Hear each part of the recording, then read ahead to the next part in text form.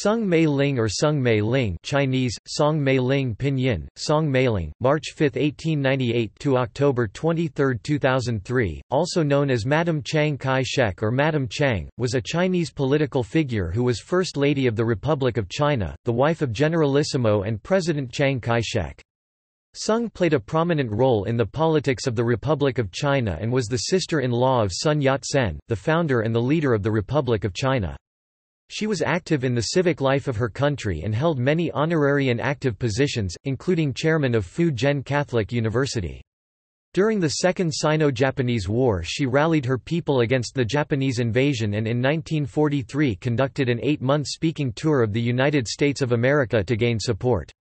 She was also the youngest and the last surviving of the three Soong sisters, and one of only two First Ladies during World War II along with Queen Elizabeth the Queen Mother, 1900–2002 who lived into the 21st century. Her life traversed three centuries. Early life She was born in Hongkou District, Shanghai, on March 5, 1898, though some biographies give the year as 1897, since Chinese tradition considers one to be a year old at birth. She was the fourth of six children of Charlie Soong, a wealthy businessman and former Methodist missionary from Hainan, and his wife Ni Kuei Seng, Ni Gui Zhen Ni Guizhen. Mei Ling's siblings were sister Ai Ling, sister Ching Ling, who later became Madam Sun Yat-sen, older brother Zhe Ven and younger brothers Zhe Liang (TL) and Zayan (TA). Topic: Education. In Shanghai, Mei Ling attended the McTyeire School for Girls with her sister, Ching Ling. Their father, who had studied in the United States, arranged to have them continue their education in the U.S. in 1907. Mei Ling and Ching Ling attended a private school in Summit, New Jersey. In 1908, Ching Ling was accepted by her sister Ai Ling's alma mater, Wesleyan College, at age 15 and both sisters moved to Macon, Georgia, to join Ai Ling. However, she could not get permission to stay on campus as a family member nor could she be a student because she was too young. Mei Ling spent the year in Demarest, Georgia, with Ai Ling's Wesleyan friend, Blanche Moss, who enrolled Mei Ling as an eighth grader at Piedmont College. In 1909, Wesleyan's newly appointed president, William Newman Ainsworth, gave her permission to stay at Wesleyan and assigned her tutors. She briefly attended Fairmount College in Monteagle, Tennessee in 1910. Mei Ling was officially registered as a freshman at Wesleyan in 1912 at the age of 15. She then transferred to Wellesley College two years later to be closer to her older brother, T.V., who, at the time, was studying at Harvard. By then, both her sisters had graduated and returned to Shanghai.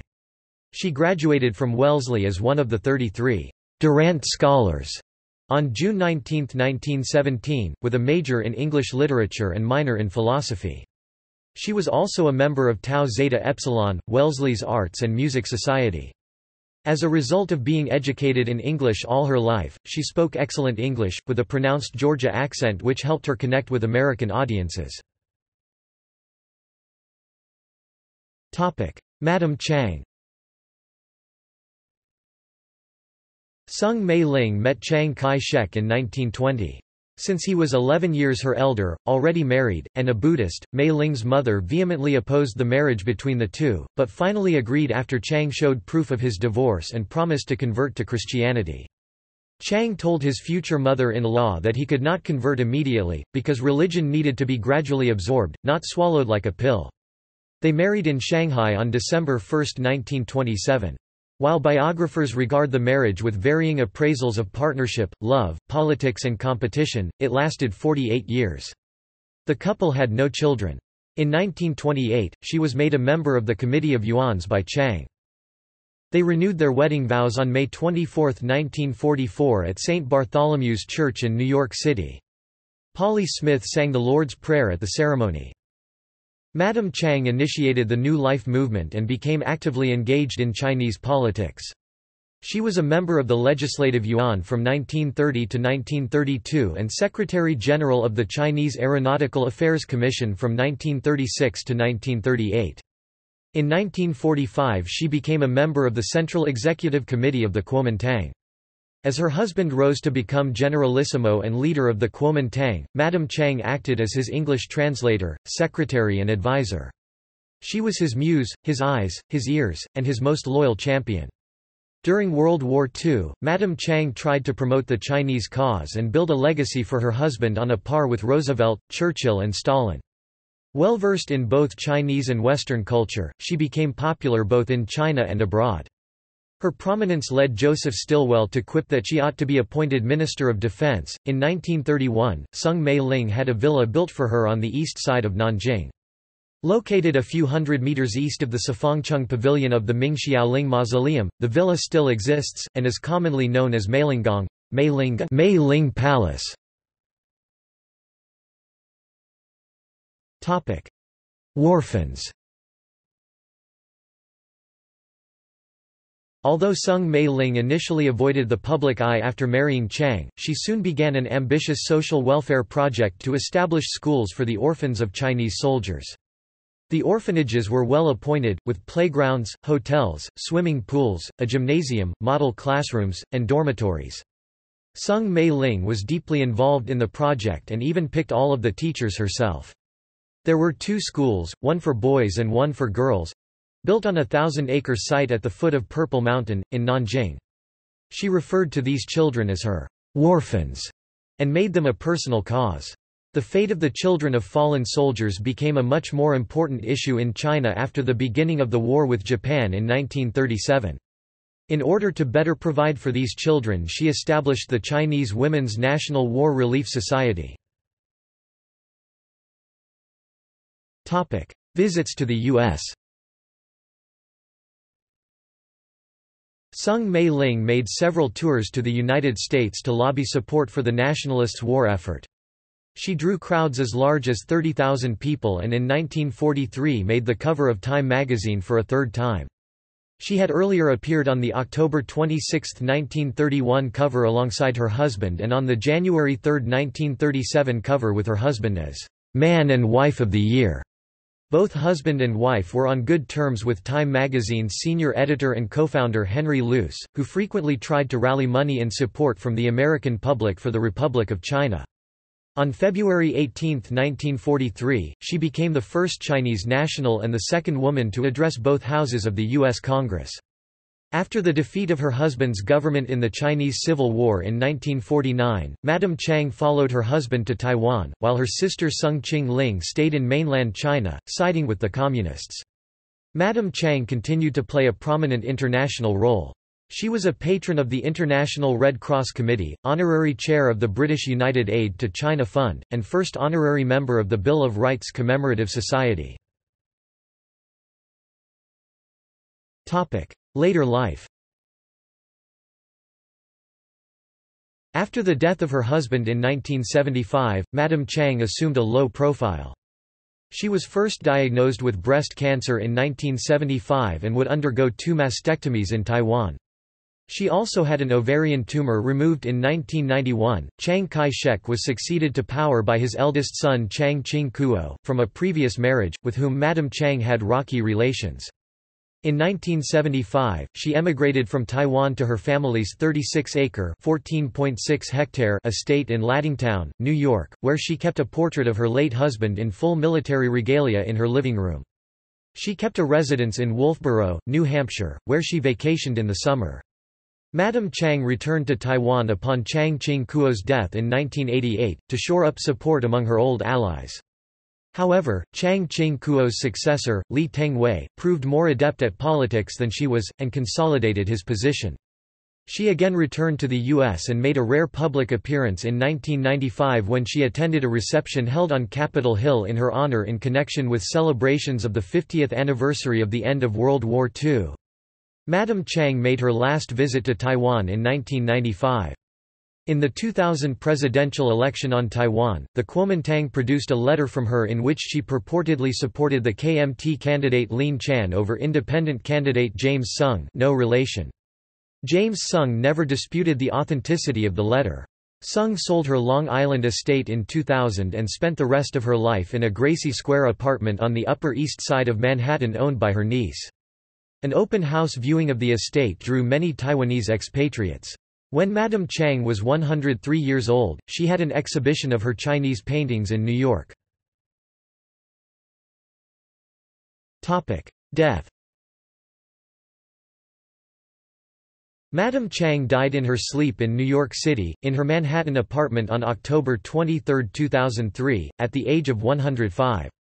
Her remains were interred at Ferncliff Cemetery in Hartsdale, New York, pending an eventual burial with her late husband who was entombed in Cihu, Taiwan.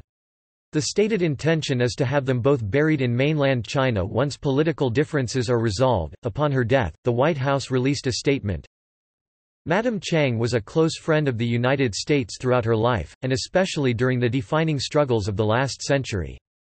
Generations of Americans will always remember and respect her intelligence and strength of character.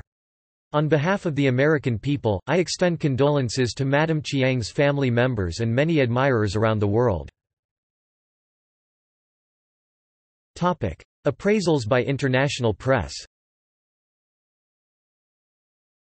The New York Times obituary wrote, as a fluent English speaker, as a Christian, as a model of what many Americans hoped China to become, Madame Chiang struck a chord with American audiences as she traveled across the country, starting in the 1930s, raising money and lobbying for support of her husband's government.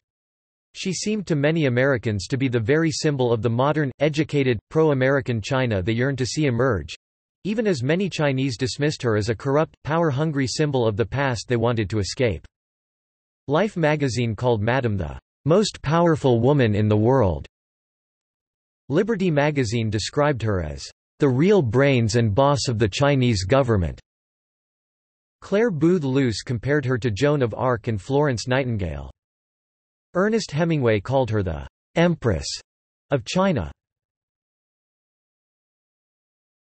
Topic Gallery Topic Internet video 1937 video cast of Soong Mei Ling Address to the World in English on YouTube In Chinese Soong Mei Ling and the China Air Force 1995, U.S. Senators held a reception for Soong Mei Ling in recognition of China's role as a U.S. ally in World War II. Topic see also Second Sino-Japanese War Xi'an Incident History of the Republic of China Military of the Republic of China President of the Republic of China Politics of the Republic of China Claire Lee Chennault Flying Tigers Chiang Fang Liang National Revolutionary Army Sino-German Cooperation 1911 Address to Congress, the full text of her 1943 address The Last Empress, Madame Chiang Kai-shek and the Birth of Modern China, a 2009 biography of Soong Soong Mei Ling topic References topic Bibliography Chu, Samuel C., Kennedy, Thomas L., eds. 2005. Madam Chiang Kai-shek and Her China. Norwalk, Connecticut, Eastbridge. ISBN 9781891936715. DeLong, Thomas A. 2007. Madam Chiang Kai-shek and Miss Emma Mills, China's First Lady and Her American Friend. Jefferson, North Carolina, McFarland and Company, Inc. ISBN 978-0-7864-2980-6. Preview at Google Books Donovan, Sandy 2006. Madam Chiang Kai-shek, Face of Modern China. Minneapolis, Compass Point Books. ISBN 978 0 7565 1886 8. Preview at Google Books Pakula, Hannah 2009. The Last Empress, Madame Chiang Kai-shek and the Birth of Modern China. New York, Simon & Schuster. ISBN 978-1-4391-4893-8. Preview at Google Books Scott Wong, Kevin 2005. Americans First, Chinese Americans and the Second World War. Harvard University Press. ISBN 9780674016712. Retrieved May 20, 2015. Taylor, J. 2009. The Generalissimo, Chiang Kai-shek and the Struggle for Modern China. Cambridge, Massachusetts, Belknap Press of Harvard University Press. pp. 217-18. ISBN 978 0 674 03338 2. Retrieved May 20, 2015. Preview at Google Books Tyson Li, Laura 2006. Madam Chiang Kai-shek, China's Eternal First Lady. New York, Grove Press. ISBN 978-0-8021-4322-8. Preview at Google Books Topic External links Audio of her speaking at the Hollywood Bowl, 1943 three hours into program text of her address to the U.S. Congress, 1943 as delivered text transcript and complete audio of her address to the U.S. Congress, 1943 Wellesley College Biography at the Wayback Machine Archive Index Time Magazine's Man and Wife of the Year, 1937 Madam Chiang being honored by U.S. Senate Majority Leader Robert Dole left and Senator Paul Simon Center at the U.S. Capitol in Washington, D.C., July 26, 1995 Madam Chiang Kai-shek, 1898–2003 Life in Pictures, Madam Chiang Kai-shek Voice of America Obituary CNN, Madam Chiang Kai-shek dies Song Mailing's Villa Madam Chiang, 105, Chinese leader's widow, dies, The New York Times The Extraordinary Secret of Madam Chiang Kai-shek Madam Chiang Kai-shek, The Economist What a 71-year-old article by Madam Chiang Kai-shek tells us about China today. The Atlantic Madam Chiang Kai-shek, 1898-2003 Time Madam Chiang, IMDb Soong Mei Ling, Britannica. Com Madam Soong Mei Ling's life in her old age Newspaper clippings about Soong Mei Ling in the 20th Century Press Archives of the German National Library of Economics ZBW.